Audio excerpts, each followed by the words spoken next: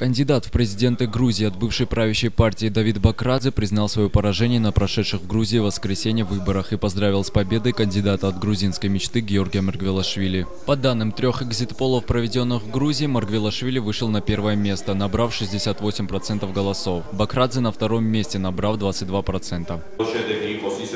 В партии все понимают, что это не последние данные, но будут изменения в процессах, но картина уже понятна. Предварительные результаты показывают, что мы остаемся серьезной оппозицией, оппозиции, каждый четвертый избиратель голосовал за нас. Я хочу подать всем пример и поздравить Маргвелашвили с победой на выборах и признать те данные, которые мы получили.